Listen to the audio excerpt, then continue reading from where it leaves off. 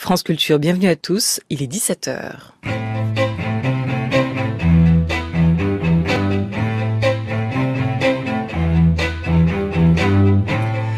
Bonjour et heureuse de vous retrouver pour ce nouveau numéro d'En français dans le texte. Jules Verne, Marguerite Yourcenar, Victor Hugo ou encore Molière.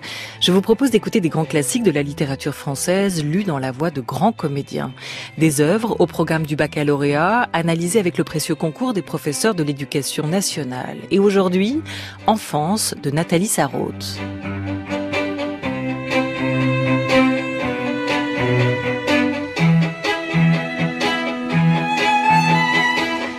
Et dans une demi-heure, soyez nombreux à nous rejoindre pour la grande dictée de Rachid Santaki. Invitée ce samedi, l'écrivaine oulipienne et artiste plasticienne Clémentine Mélois. Elle est spécialiste des détournements. Elle sera avec nous pour cette grande dictée. Préparez vos stylos et laissez-vous guider. On est ensemble jusqu'à 18h.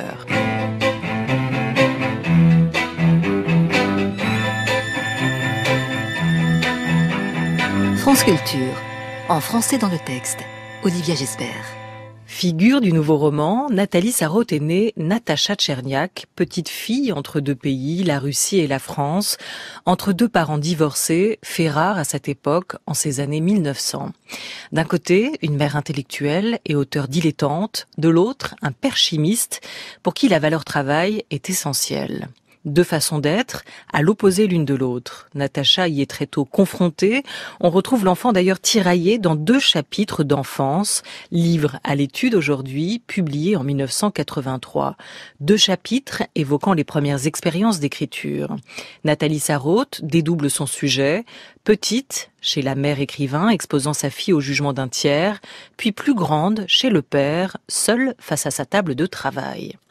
Dans les deux cas, on trouve l'expression d'un même rejet du don d'écriture, mais aussi une attention toute particulière aux mots, ces mots qui trompent, mais qui révèlent aussi, si tant est qu'on les cherche. Aux confins de l'enfance et de son écriture, Nathalie Sarraute repousse le lieu commun de l'écrivain en herbe et ce faisant propose une forme d'art poétique enfantin entre soupçon, un mot très important pour Nathalie Sarraute, et la quête poétique du mot juste. Et c'est la comédienne Elisabeth Vitali qui lit aujourd'hui pour En français dans le texte un extrait de Enfance de Nathalie Sarraute. On l'écoute.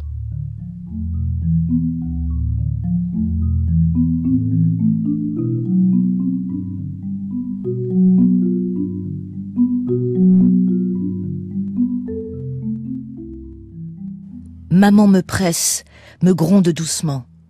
Ne te fais pas prier comme ça, ce n'est pas gentil. Ce n'est pas bien. Va le chercher, viens le montrer. Et aussi la présence du monsieur, assis à contre-jour, le dos à la fenêtre. Son silence attentif, son attente pèse sur moi, me pousse. Mais je sais que je ne dois pas le faire. Il ne le faut pas. Je ne dois pas céder. Je m'efforce comme je peux de résister. Mais ce n'est rien du tout. C'est juste pour s'amuser. Non, c'est vraiment rien. Ne sois pas si timide. Vous savez ce qu'elle écrit, c'est tout un long roman. Le monsieur, qui était-ce, je me le demande Impossible de me le rappeler. Ce pouvait être Korolenko, à en juger par l'estime, l'affection pour lui que je sentais chez maman. Elle publiait dans sa revue, elle le voyait beaucoup. Colia et elle en parlaient souvent, mais peu importe son nom.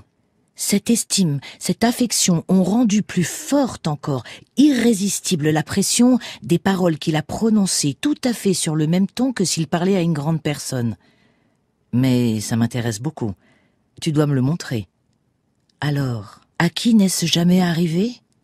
Qui peut prétendre ignorer cette sensation qu'on a parfois qu'en sachant ce qui va se passer, ce qui vous attend, le redoutant, on avance vers cela quand même on dirait même qu'on le désire, que c'est cela qu'on cherche. Oui, ça vous tire, une drôle d'attraction.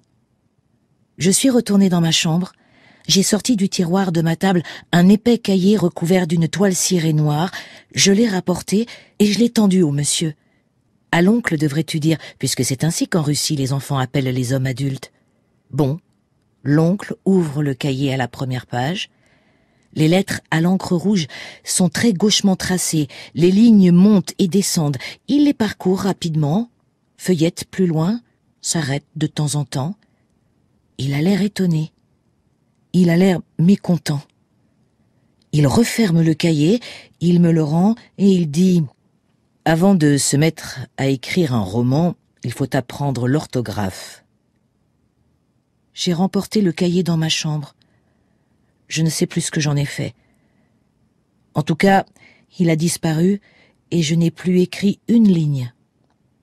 C'est un de ces rares moments de ton enfance dont il t'est arrivé parfois bien plus tard de parler. Oui, pour prétendre, pour donner des raisons à ceux qui me demandaient pourquoi j'ai tant attendu avant de commencer à écrire? C'était si commode. On pouvait difficilement trouver quelque chose de plus probant. Un de ces magnifiques traumatismes de l'enfance. Tu n'y crois pas vraiment? Si, tout de même. J'y croyais, par conformisme, par paresse. Tu sais bien que jusqu'à ces derniers temps, je n'ai guère été tenté de ressusciter les événements de mon enfance. Mais maintenant, quand je m'efforce de reconstituer comme je peux ces instants, ce qui me surprend d'abord, c'est que je ne retrouve pas de colère ou de rancune contre l'oncle.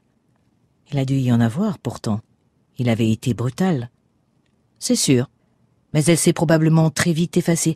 Et ce que je parviens à retrouver, c'est surtout une impression de délivrance. Un peu comme ce qu'on éprouve après avoir subi une opération, une ablation douloureuse, mais nécessaire, mais bienfaisante. Il n'est pas possible que tu l'aies perçu ainsi sur le moment. Évidemment. Cela ne pouvait pas m'apparaître tel que je le vois à présent quand je m'oblige à cet effort, dont je n'étais pas capable, quand j'essaie de m'enfoncer d'atteindre, d'accrocher, de dégager ce qui est resté là, enfoui.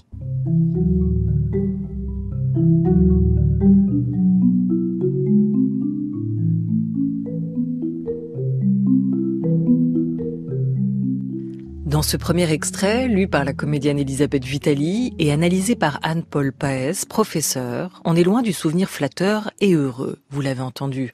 Elle dit, elle écrit « Maman me presse, maman me gronde doucement, et aussi la présence du monsieur, son silence attentif, son attente, pèse sur moi, écrit Nathalie Sarraute, me pousse. L'enfant est en permanence en position grammaticale d'objet et ne peut que subir une drôle d'attraction et céder à l'injonction des adultes qui lui parlent déjà comme à une grande personne qui refuse qu'elle puisse écrire simplement pour s'amuser. Le jugement qui s'ensuit est d'autant plus définitif qu'il est émis par un éditeur pour lequel travaille la mère, une figure d'autorité, l'oncle, qui vient destituer la future auteure que la mère voyait en sa fille. Avant de se mettre à écrire un roman, lui dit-il, il faut apprendre l'orthographe. La vie est implacable, brutale même, écrit Sarraute, et la réaction de la petite Natacha ne se fait pas attendre. Je n'ai plus écrit une ligne.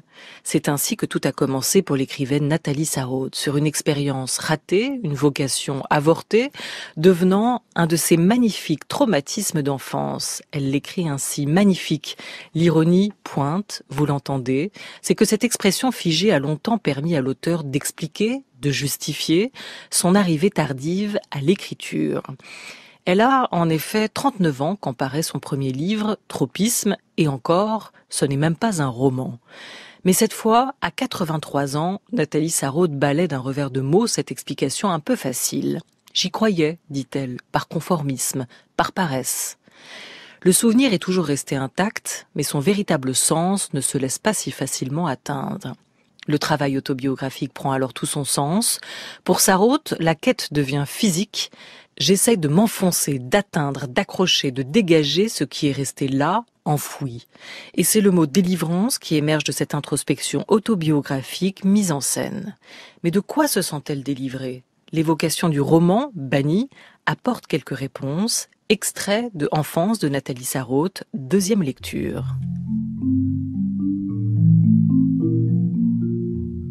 Je suis dans ma chambre, à ma petite table devant la fenêtre je trace des mots avec ma plume trempée dans l'encre rouge.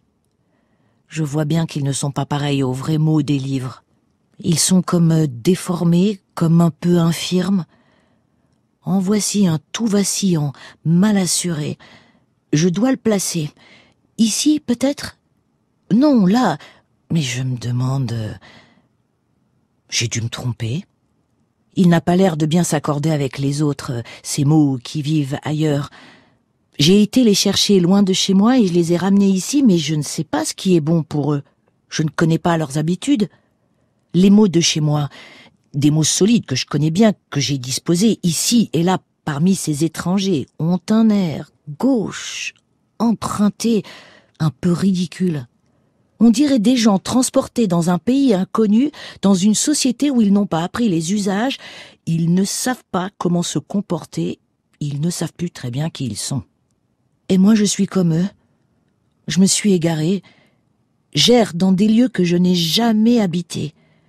Je ne connais pas du tout ce pâle jeune homme aux boucles blondes allongé près d'une fenêtre d'où il voit les montagnes du Caucase. Il tousse, et du sang apparaît sur le mouchoir qu'il porte à ses lèvres. Il ne pourra pas survivre au premier souffle du printemps. Je n'ai jamais été proche un seul instant de cette princesse géorgienne coiffée d'une toque de velours rouge d'où flotte un long voile blanc. Elle est enlevée par un djigit sanglé dans sa tunique noire, une cartouchière bombe chaque côté de sa poitrine.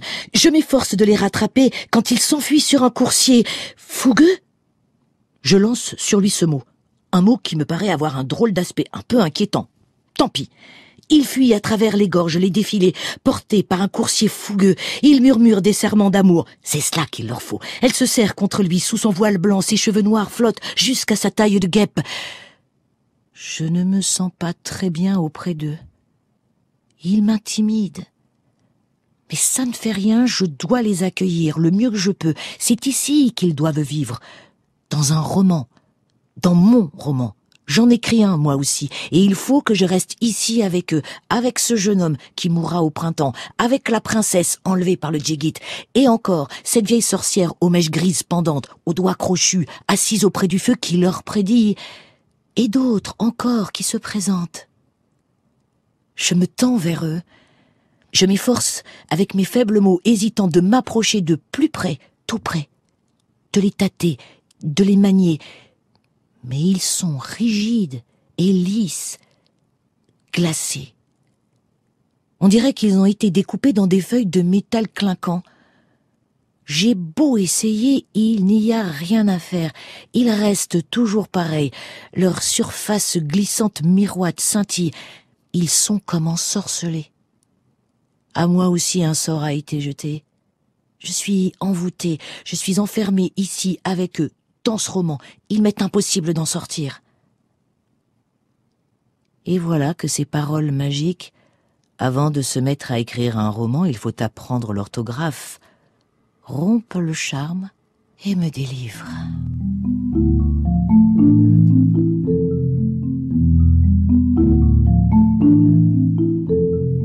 C'était Elisabeth Vitali pour cette deuxième lecture. On poursuit notre analyse de ces extraits de Enfance, le livre autobiographique de Nathalie Sarraute. Ici, le dialogue des deux voix intimes de l'auteur s'est tu pour laisser place aux souvenirs enfantins?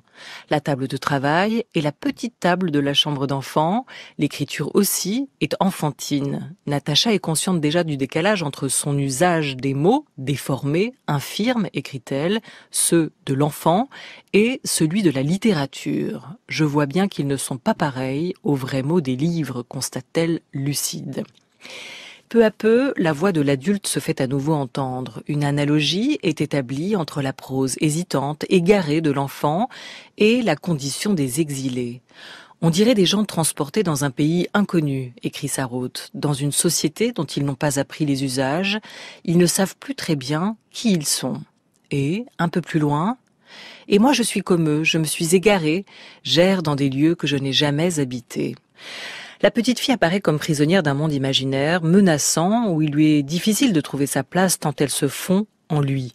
Amenée peut-être trop jeune à écrire, Natacha ne dissocie plus fiction et écriture. Sans avoir le moyen de l'analyser, l'enfant qu'elle est alors se confronte de manière précoce à l'arbitraire du signe dans un roman aux clichés qui lui sont étrangers. Mais quel roman s'agit-il d'écrire? Le sien ou celui de sa mère N'oublions pas que le mot est d'abord prononcé par la mère au tout début du chapitre, puis l'enfant y revient par quatre fois à la fin. C'est ici qu'ils doivent vivre dans un roman. Dans mon roman, j'en écris un, moi aussi, et il faut que je reste ici avec eux, écrit Sarraute. Injonction maternelle que l'enfant semble avoir fait sienne. La fin du passage prend dès lors une dimension presque psychanalytique. Qui est cette sorcière qui prédit Et quoi d'ailleurs? Les réticences ne le précisent pas. À sa fille et à l'oncle, la mère écrivain, elle, a prédit un roman. L'oncle n'est dès lors plus l'être traumatisant, brisant un rêve d'écriture, mais plutôt une force auxiliaire digne d'un conte de fées venant briser le sort maternel. Ici, Sarraute met en scène un de ces tropismes qu'elle a théorisé, le jugement implacable de l'oncle, assimilé à une opération, une cautérisation, une ablation douloureuse mais nécessaire mais bienfaisante, s'est finalement transformé en parole magique, en charme, permettant un affranchissement de la tutelle maternelle, sans lequel la petite Natacha Tcherniak ne serait peut-être pas devenue la grande Nathalie Sarraute. C'est quelques années plus tard, du côté du père, quand Natacha a 11-12 ans, que la délivrance se concrétise. Une page se tourne avec une copie d'école. On retrouve la comédienne Elisabeth Vitali pour cette troisième lecture de Enfance de Nathalie Sarraute.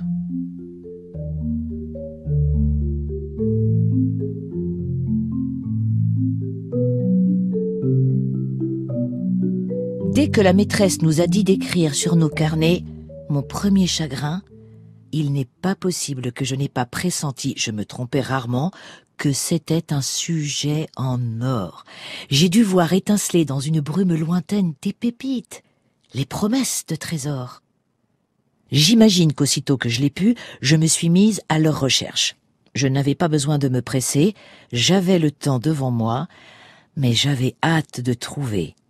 C'est de cela que tout allait dépendre. Quel chagrin. Tu n'as pas commencé par essayer, en scrutant parmi tes chagrins, de retrouver un de mes chagrins? Mais non, voyons, à quoi penses-tu? Un vrai chagrin, à moi, vécu par moi pour de bon. Et d'ailleurs, qu'est-ce que je pouvais appeler de ce nom? Et quel avait été le premier? Je n'avais aucune envie de me le demander. Ce qu'il me fallait, c'était un chagrin qui serait hors de ma propre vie, que je pourrais considérer en m'en tenant à bonne distance. Cela me donnerait une sensation que je ne pouvais pas nommer, mais je la ressens maintenant telle que je l'éprouvais. Un sentiment de dignité peut-être? C'est ainsi qu'aujourd'hui on pourrait l'appeler, et aussi de domination, de puissance et de liberté. Je me tiens dans l'ombre, hors d'atteinte. Je ne livre rien de ce qui n'est qu'à moi, mais je prépare pour les autres ce que je considère comme étant bon pour eux. Je choisis ce qu'ils aiment, ce qu'ils peuvent attendre, un de ces chagrins qui leur conviennent. Et c'est alors que tu as eu cette chance d'apercevoir. Et d'où est-il venu? Je n'en sais rien.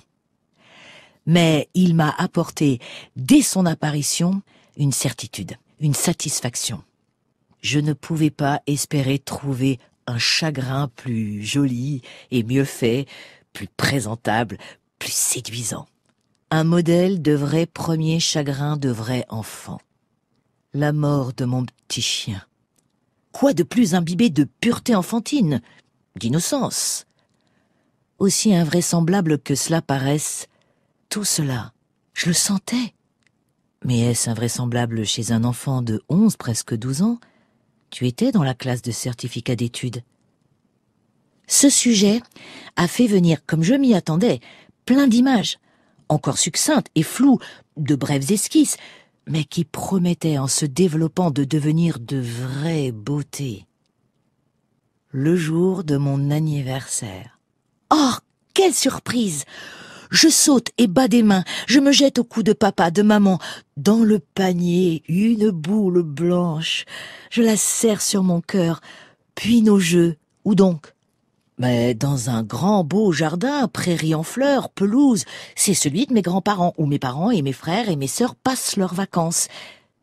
Et puis viendra l'horreur. La boule blanche se dirige vers l'étang. Cet étang que tu avais vu sur un tableau bordé de joncs couvert de nénuphars. Il faut reconnaître qu'il est tentant. Mais voici quelque chose d'encore plus prometteur. La voie ferrée. Nous sommes allés nous promener de ce côté. Le petit chien monte sur le remblai, je cours derrière lui, je l'appelle, et voici qu'à toute vitesse le train arrive. L'énorme, effrayante locomotive. Ici pourront se déployer des splendeurs.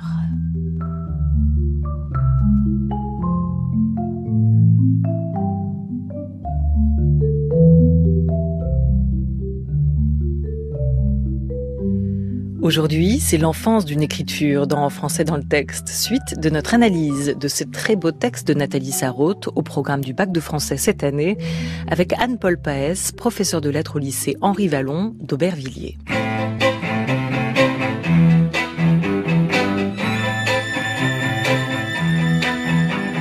France Culture, en français dans le texte, Olivia Gesbert. Loin du désir maternel, la composition scolaire se présente comme le cadre idéal, légitime pour une seconde expérience d'écriture.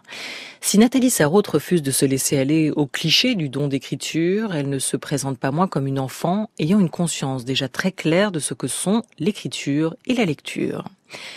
Ainsi, la rêverie autour du sujet de rédaction, mon premier chagrin, prend des allures de recherche littéraire.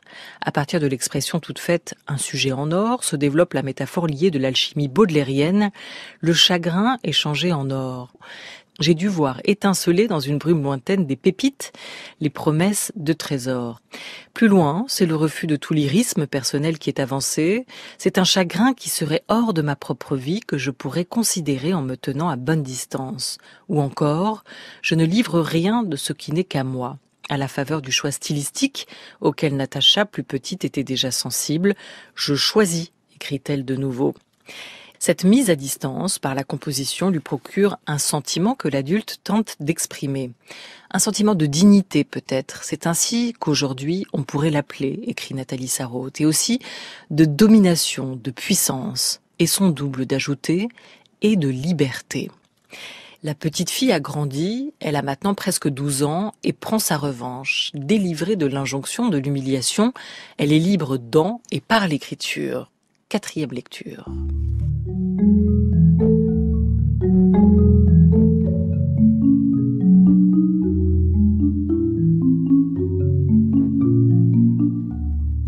Les mots parmi lesquels je me suis posée ne sont pas mes mots de tous les jours des mots grisâtres, à peine visibles, assez débraillés. Ces mots-ci sont comme revêtus de beaux vêtements, d'habits de fête. La plupart sont venus de lieux bien fréquentés où il faut avoir de la tenue, de l'éclat. Ils sont sortis de mes recueils de morceaux choisis, dédictés, et aussi étaient-ce des livres de René Bolève, d'André Teurier ou déjà de Pierre Loti? En tout cas, ce sont des mots dont l'origine garantit l'élégance, la grâce, la beauté. Je me plais en leur compagnie. J'ai pour eux tous les égards qu'ils méritent. Je veille à ce que rien ne les dépare. S'il me semble que quelque chose abîme leur aspect, je consulte aussitôt mon Larousse. Il ne faut pas qu'une vilaine faute d'orthographe, un hideux bouton les enlaidisse. Et pour les relier entre eux, il existe des règles strictes auxquelles on doit se conformer. Si je n'arrive pas à les retrouver dans ma grammaire, si le moindre doute subsiste, il vaut mieux ne pas y toucher à ces mots, en chercher d'autres que je pourrais placer dans une autre phrase où ils seront à une place appropriée dans le rôle qui leur convient. Même mes mots à moi, ceux dont je me sers d'ordinaire sans bien les voir, lorsqu'ils doivent venir ici, acquièrent au contact des autres un air respectable, de bonne manière. Parfois, je glisse ici ou là un mot rare, un ornement qui rehaussera l'éclat d'ensemble. Souvent, les mots me guident dans mes choix. Ainsi, dans ce premier chagrin, le bruissement sec des feuilles d'automne que nous froissions en courant, en nous roulant dessus, mon petit chien et moi, m'ont fait, après avoir hésité, préférer pour nos jeux dans le jardin de mes grands-parents l'automne au printemps. Pourtant, les pousses tendres et les bourgeons du veteux étaient bien séduisants. L'automne l'a emporté, et je ne l'ai pas regretté. N'y ai-je pas trouvé la douceur des rayons d'un soleil pâle? Les feuilles d'or et de pourpre des arbres?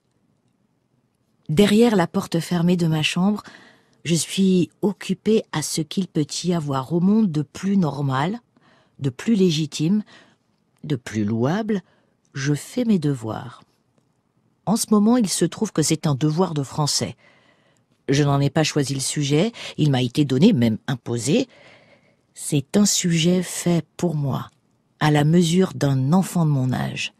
Il m'est permis de m'ébattre à l'intérieur de ses limites, sur un terrain bien préparé et aménagé, comme dans la cour de récréation, ou bien aussi, puisque ces ébats s'accompagnent de grands efforts, comme dans la salle de gymnastique. Maintenant arrive le moment de concentrer toutes mes forces pour le grand bond. L'arrivée du train. Son vacarme, sa vapeur brûlante, ses énormes yeux qui brillent. Et puis, quand le train est passé, entre les rails, la touffe de poils blancs, la flaque de sang. Mais cela, je me retiens d'y toucher. Je veux laisser les mots prendre tout leur temps, choisir leur moment. Je sais que je peux compter sur eux. Les derniers mots viennent toujours comme poussés par tous ceux qui les précèdent. Je les appelle, je les rappelle plutôt. Ils sont déjà venus avant, mais je veux les revoir encore. Le moment est propice. Je les fais raisonner. Faut-il changer celui-ci de place? J'écoute de nouveau. Vraiment, la phrase qu'il forme se déroule et retombe très joliment. Encore peut-être un léger arrangement, et puis ne plus l'examiner. Je risquerais de l'abîmer. Il faut seulement s'efforcer de la conserver telle qu'elle est. Ne pas en perdre un mot jusqu'au moment où je l'écrirai sur ma copie déjà mise honnête, en allant à la ligne pour bien la faire ressortir dans toute sa beauté, en la faisant suivre du point final. Il ne me restera plus qu'à tracer à bonne distance de la dernière ligne un trait bien droit et net avec la plume très propre et ma règle. Jamais au cours de toute ta vie, aucun des textes que tu as écrits ne t'a donné un pareil sentiment de satisfaction, de bien-être.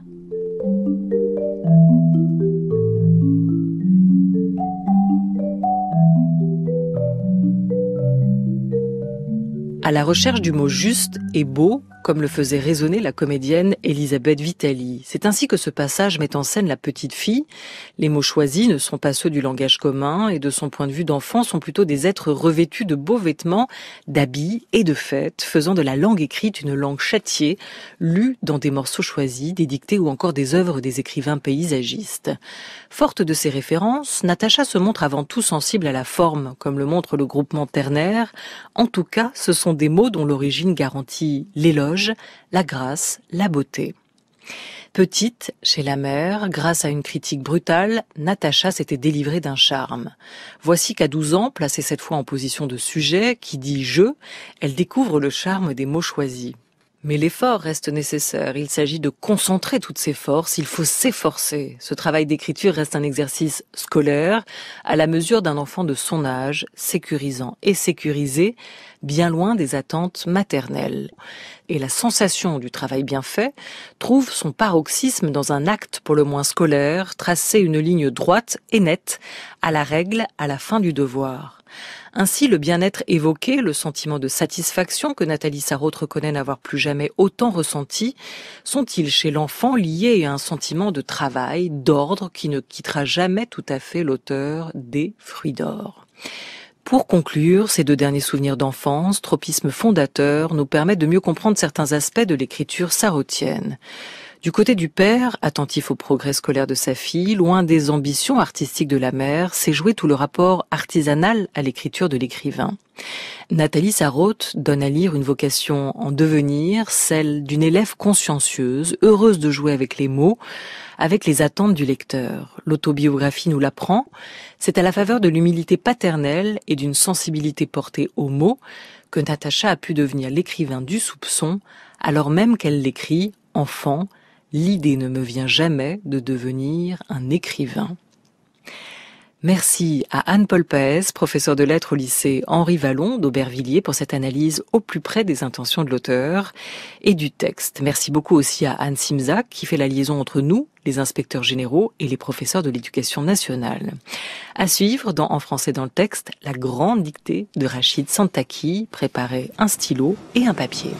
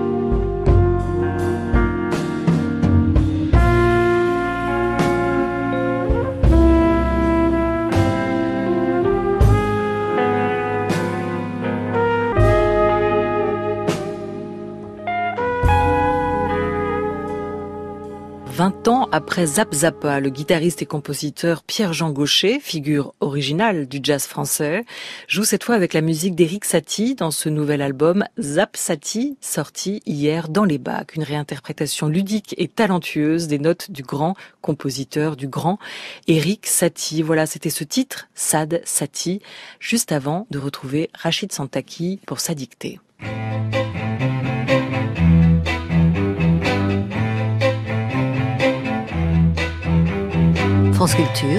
En français dans le texte, la dictée de Rachid Santaki. La langue française est sexiste. Vous ne me croyez pas? Un courtisan, c'est un homme que l'on voit auprès du roi. Une courtisane, c'est une pute.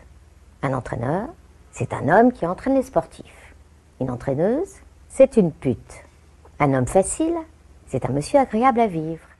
Une femme facile, c'est une pute. Un homme public, c'est quelqu'un de connu. Une femme publique, c'est une pute. Un professionnel, c'est un homme carré, sérieux. Une professionnelle, une pute.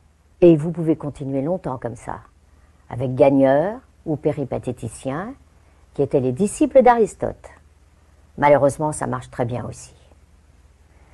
Alors, mesdames et surtout vous, messieurs, réveillez-vous.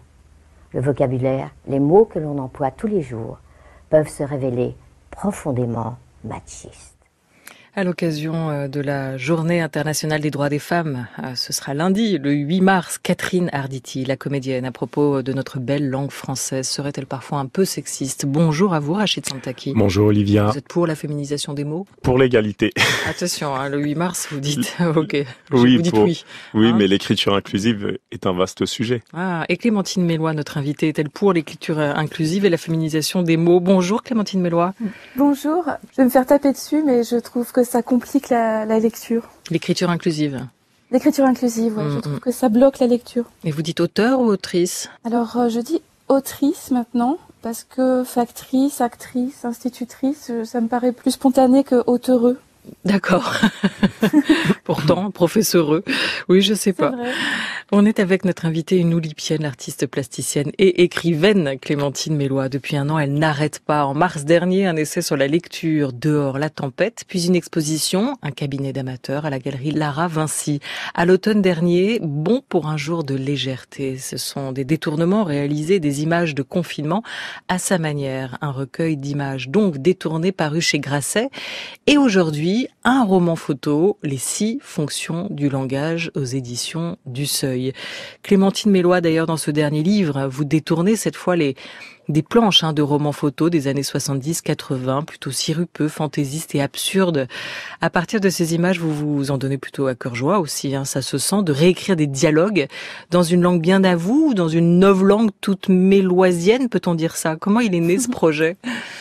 Le projet, c'était, euh, j'avais envie de parler du langage, et l'idée m'est venue au départ d'une collection que je continue à enrichir de phrases qui n'auraient eu aucun sens il y a quelques années, comme euh, venez tester votre éligibilité à la fibre ou euh, le basilic c'est clivant.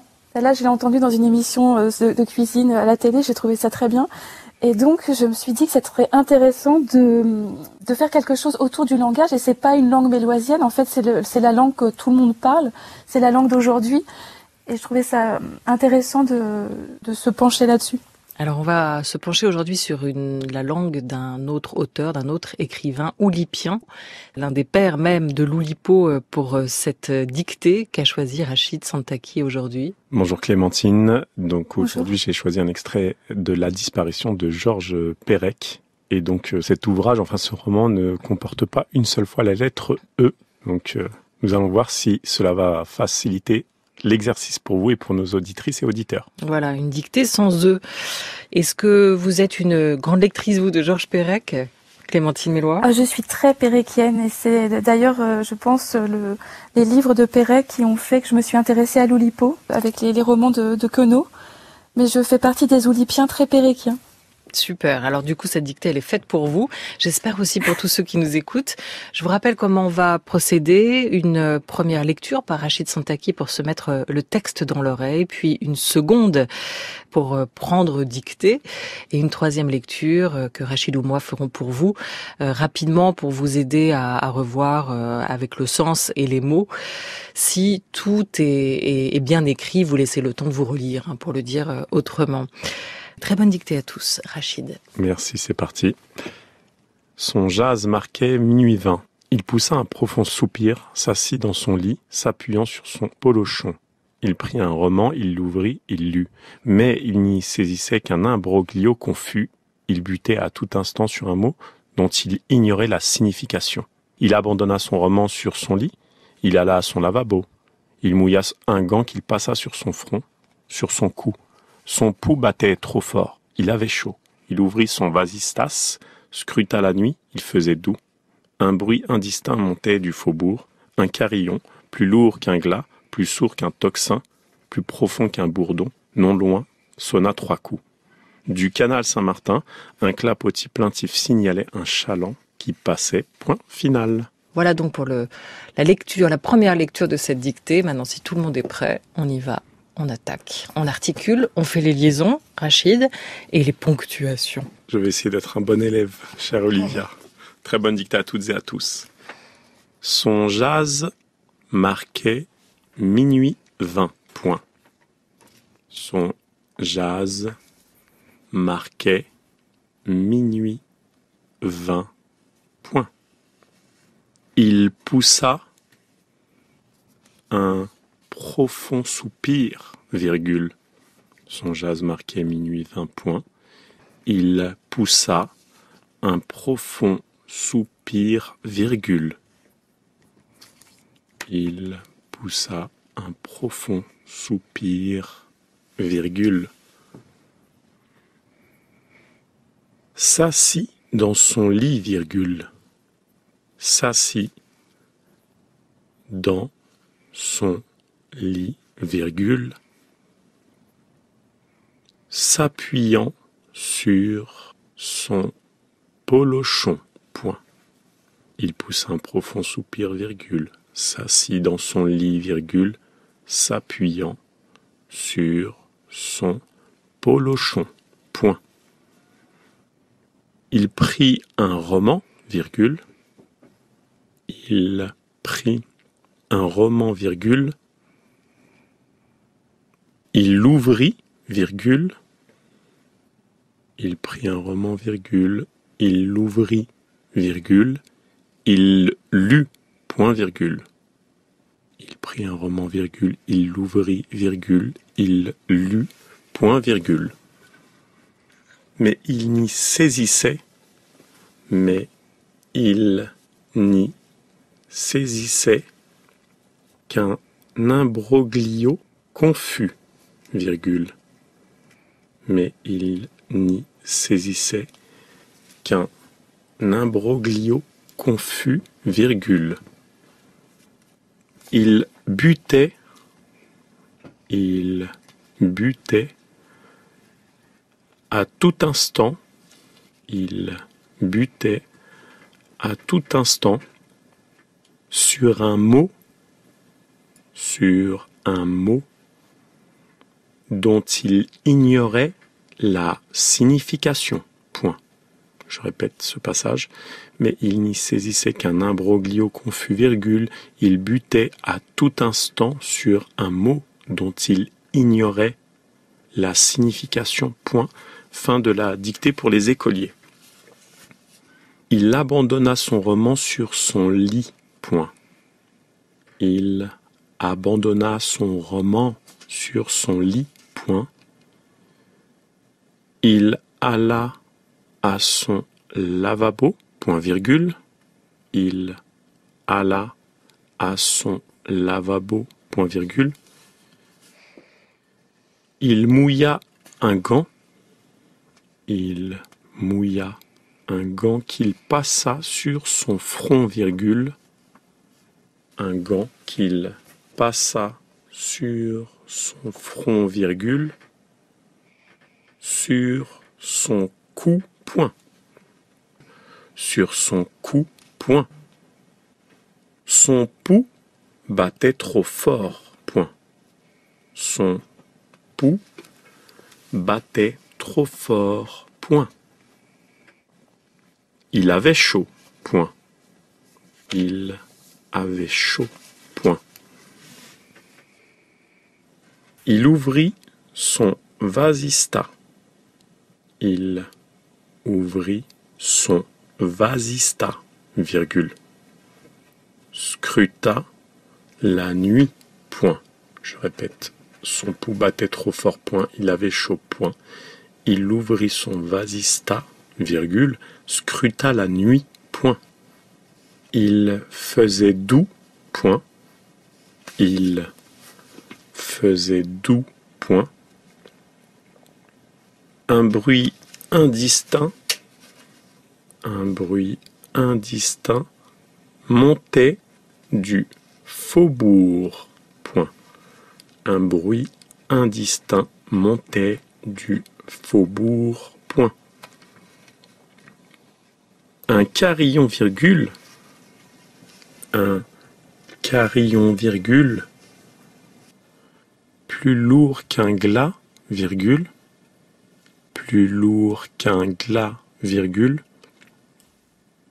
plus sourd qu'un toxin, virgule, plus sourd qu'un toxin, virgule, plus profond qu'un bourdon, virgule, plus profond qu'un bourdon, virgule, non loin, virgule, non loin, virgule, sonna trois coups, point, non loin, virgule, sonna trois coups, point. Du canal Saint-Martin, virgule, du canal Saint-Martin, virgule, un clapotis plaintif, un clapotis plaintif signalait, signalait un chaland, un chaland qui passait, point. Du canal Saint-Martin, virgule, un clapotis plaintif signalait un chaland qui passait, point final. Je vais effectuer une troisième lecture rapide avant la correction. Son jazz marquait minuit vingt, point. Il poussa un profond soupir, virgule, s'assit dans son lit, virgule, s'appuyant sur son polochon, point. Il prit un roman, virgule, il l'ouvrit, il lut, point, virgule. Mais il n'y saisissait qu'un imbroglio confus, virgule. Il butait à tout instant sur un mot dont il ignorait la signification, point. Fin de la dictée pour les écoliers. Il abandonna son roman sur son lit, point. Il alla à son lavabo, point virgule. Il mouilla un gant qu'il passa sur son front, virgule, sur son cou, point. Son pouls battait trop fort, point. Il avait chaud, point. Il ouvrit son vasista, virgule, scruta la nuit, point. Il faisait doux, point. Un bruit indistinct montait du faubourg, point. Un carillon, virgule, plus lourd qu'un glas, virgule, plus sourd qu'un tocsin, virgule, plus profond qu'un bourdon, virgule, non loin, sonna trois coups, point. Du canal Saint-Martin, virgule, un clapotis plaintif signalait un chaland qui passait, point final. Voilà Olivia pour cette troisième lecture. Merci beaucoup Rachid Santaki. Comment ça s'est passé euh, pour vous, Clémentine Mélois? Ben, je pense que ça a été. J'ai eu quelques doutes par instant notamment pour le deuxième mot. Sur le, sur le, fameux jazz. Sur le jazz. euh, ce, qui, ce que j'aime beaucoup, c'est la gourmandise qu'on a à, à imaginer le, les mots que Pérec a évité justement. Son front, son cou à la place de visage, le faubourg à la place de la ville, le jazz à la place de réveil. Ça donne une deuxième, une saveur à ce texte euh, particulière, je trouve. C'est vrai, rappelons que c'est donc un, texte sous contrainte créative, comme euh, le pratiquent les membres de l'Oulipo, et vous en faites partie, Clémentine Mélois. Et pour ce texte, la particularité, c'est cette absence de E qu'a choisi euh, de, de s'appliquer Georges Perec pour cette, ce texte, cette disparition, qui est donc un, un, un livre, un roman de l'auteur paru en, en, 1969, qui a à la fois cette tournure ludique, cette écriture en lipogramme, qui exclut cette lettre E, et qui en même temps raconte aussi euh, Les deuils de l'auteur, hein, qui est un texte euh, aussi un, très beau livre euh, de lui qui parle de ses deuils personnels, de son père mort au combat, de sa mère déportée. On y retrouve donc la, figure de ce grand écrivain qui est Georges Perec. On va entrer maintenant que tout le monde a peut-être eu le temps de se relire et en vous précisant tout de suite que l'intégralité de la correction de cette dictée est disponible sur franceculture.fr à la page de En français dans le texte. On va maintenant tenter de revenir avec Rachid et avec vous, Clémentine Mélois, sur les zones d'ombre, les points de difficulté éventuellement de cette dictée. On commence par ce fameux deuxième mot, ce jazz. Comment vous l'avez écrit, jazz ou jazz? Alors, je l'ai écrit J-A-Z avec une majuscule parce que c'est la marque de réveil euh, jazz, mais je ne savais pas s'il fallait le considérer comme la marque ou ben voilà, j'avais le doute sur la majuscule. Alors c'est exactement ça, c'est effectivement cette marque horlogère et comme euh, c'est une marque, euh, ça débute, ça s'ouvre avec une majuscule sur le J, J A Z, un seul Z, contrairement au jazz qui nous fait swinger et danser. Son, son jazz marquait minuit 20. Minuit 20 avec ou sans tiret? Moi j'ai pas mis de tiret. Avec ou sans majuscule à minuit? J'ai pas mis de majuscule. Très bien. Alors, vous avez fait comme Georges Perec. Minuit 20 sans, sans tiret, c'est une fraction d'heure hein, sur, euh, sur euh, ce minuit 20. On ne met pas de tiret. Il pousse à POU de SA, un profond soupir, soupir. S-O-U-P-I-R. Mm S apostrophe de S-I-T dans son lit, s'appuyant sur un polochon. Polochon Clémentine. Polochon, P-O-L-O-C-H-O-N, comme ça se prononce? Polochon, ça vient du néerlandais. voilà, du néerlandais, euh, poluve, Le mot n'est usuel que dans une partie de la France. Euh, ailleurs, on dit traversin. Ah oui, le bon vieux traversin de nos grands-parents. On continue cette dictée. Il prit un roman, pris PRIT, hein, pour le verbe prendre au passé simple à la troisième personne du singulier. Il l'ouvrit et il lut. Comment vous écrivez lu, Clémentine? Euh, L-U-T. Nous, on a toutes les réponses, hein, vous savez. Oui, elle, exactement, L-U-T. Mais il n'y saisissait qu'un imbroglio confus. Ce, ce, cet imbroglio, Clémentine Mélois Alors moi, j'ai une petite rature sur ma feuille parce que j'ai eu, j'ai hésité et je l'ai écrit I-M-B-R-O-G-L-I-O. Très bien. J'avais hésité au début, j'avais spontanément écrit U-M, mais je l'ai barré, j'ai finalement choisi I-M, imbroglio. D'accord. J'ai dû penser à Umberto Eco, je sais pas, j'ai eu un doute. On souligne peut-être le M qui précède le B, hein. ça comme euh, souvent euh, en, français devant le P et le B, on retrouve aussi ce M. Euh, voilà pour un broglio qui ne s'écrit donc pas comme Umberto Eco, confus. On pense peut-être au, féminin, même si c'est pas le cas là, pour ne pas oublier le S à la fin, Clémentine Mélois, C-O-N-F-U-S. On pense à confuse. Hein. N'hésitez pas à l'accorder dans votre tête pour ne pas oublier que ce mot, euh, comme confusion, se termine donc par un S quand c'est l'adjectif. Il butait avec un seul T et AIT euh, à la fin, puisque là on est sur un imparfait, B-U-T-A-I-T, à tout instant sur un mot dont il ignorait la signification. Pas de difficulté, je pense, jusqu'ici. Il abandonna, Dezen a abandonna, son roman sur son lit. Il alla au lavabo. Lavabo, ça fait partie de ces jolis mots euh, de la langue française. Vous l'écrivez tout simplement, Clémentine Mélois? Comme ça se prononce, comme Polochon. Voilà, et comme un broglio, ça se termine par un O. Il mouilla un gant qu'il passa sur son front, sur son cou. Est-ce qu'il y a une difficulté a priori là? Pas forcément. Le mot pou qui arrive juste après. Il y a beaucoup de pou dans la langue française. Celui-ci, vous l'avez écrit comment, Clémentine Mélois? Oh, il a fallu que je plonge dans mes souvenirs parce qu'on n'a pas souvent l'occasion de, l'écrire, sauf peut-être si on est médecin. Je l'ai écrit P-O-U-L-S. Parfait. Oui, on prend le, on a tendance à le prendre, mais moins à l'écrire. Euh, le, le pou, ce pou-ci. Et on peut penser tout simplement au latin, pulsus, battement des mm. artères. Pour ne pas oublier ce petit L donc qui intervient, mais P-O-U-L-S pour son pouls même euh, au singulier, tout avec un S, battait, pas d'accent circonflexe sur le A, B-A-D-T-A-I-T, trop fort. Il avait chaud, il ouvrit, on revient au passé simple, O-U-V-R-I-T, son vassis das. Si on le prononce à l'allemande, ça donne des indications. En plus, sur l'écriture, vous l'écrivez comment, Clémentine Bellois? C'est un ah, mot euh, allemand hein, qui a été francisé. J'ai écrit Vasistas, V-A-S-I-S-T-A-S. C'est parfait. Exactement. Et c'est donc un, emprunt à la langue allemande, au Was ist das Et le Was ist das, c'est ces, Exactement, c'est voilà cette fenêtre euh, qui était une sorte de guichet qui permettait aux Allemands euh, de demander à leurs euh, visiteurs, ils leur posaient la question avant d'ouvrir la porte. Voilà pour l'histoire de ce mot Was ist das. Il faisait doux. un bruit indistinct, on n'oublie peut-être pas le C, à la fin, c'était pour indistinct. Hein Clémentine Mélois, c'est bon pour vous? C'est bon.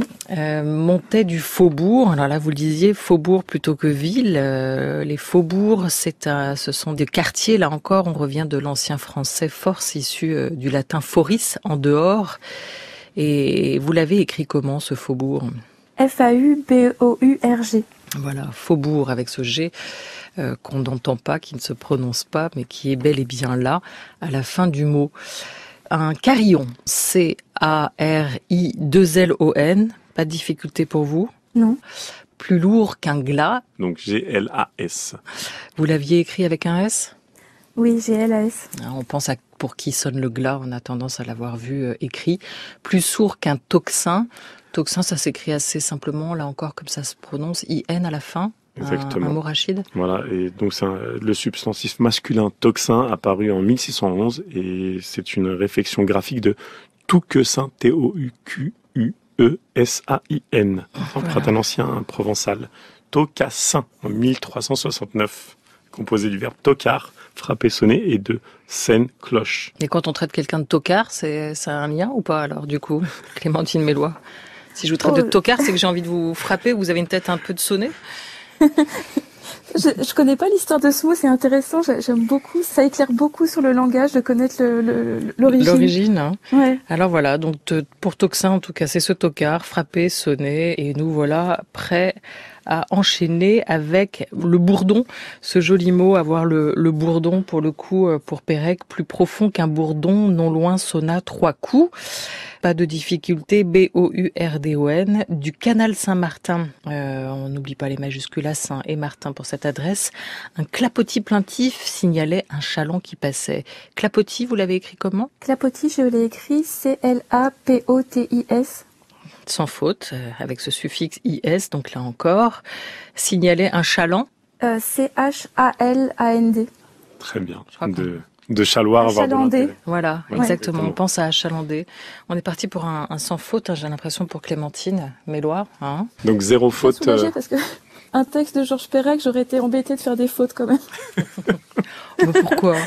Pourquoi en plus on peut avoir le plaisir de la lecture sans forcément être euh, toujours vigilant sur l'orthographe, quoi qu'à force de lire et de relire.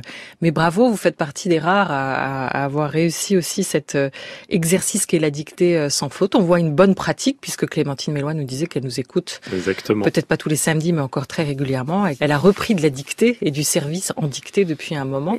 Hein j'adore, j'ai toujours adoré les dictées. Et c'est euh, effectivement un très bon exercice pour travailler la motricité, dessiner et, donc pense que nous invitons euh, nos auditrices et auditeurs à, à pratiquer l'exercice. Et ça reste effectivement un jeu. On n'est pas forcément dans la difficulté euh, et de, de textes compliqués. On a de s'amuser. Ouais. On a beaucoup de chats dans ce studio. On a beaucoup de chats dans ce studio et dans nos gorges surtout. Les fameux chats qui sont sur la couverture d'ailleurs de votre dernier, de l'un de vos derniers ouvrages, Clémentine chez Grasset. Bon pour un jour de légèreté.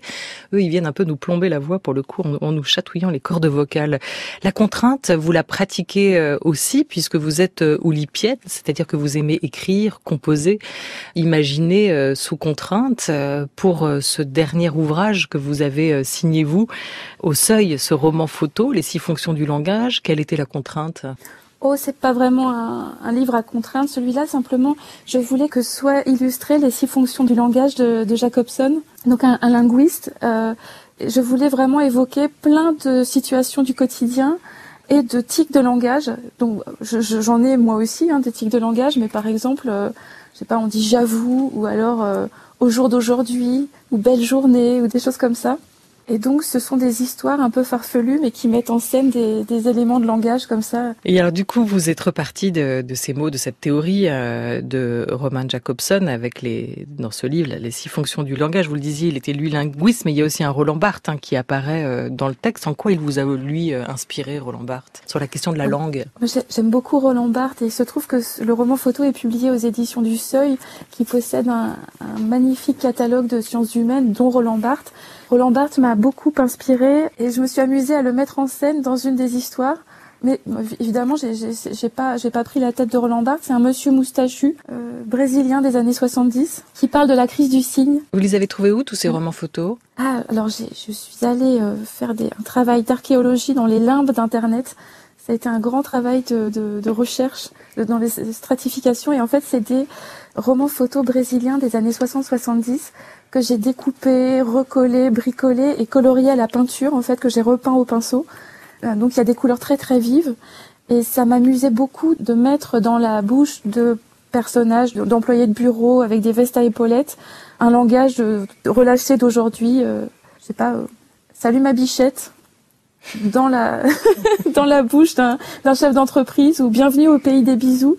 Je trouve que ça crée un décalage qui, qui, est intéressant et qui dit des choses aussi sur notre façon de parler. Voilà, et la première, euh, le premier chapitre, la première scène s'ouvre hein, sur euh, un, un, rapport complice et amoureux euh, qui touche presque à l'orgasme, s'arrête juste un tout petit peu avant à cause d'un d'un mot qui va refroidir les ardeurs de, de vos deux personnages. Quel effet ça vous fait à vous, les mots compliqués, Clémentine Mélois?